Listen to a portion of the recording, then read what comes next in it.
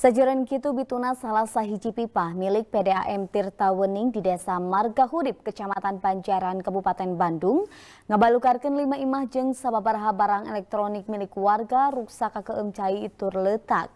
Antukna warga sarendek saigal mersihan imah anu kasaur letak. Bituna pipa transmisi Cisangkui Anyar milik PDAM Tirtawening Kota Bandung di Desa Marga Hurip, Kecamatan Banjaran, Kabupaten Bandung, ngabalukarkan lima imah warga serta sajumlah barang elektronik milik warga ruksak katarajang cai turta letak.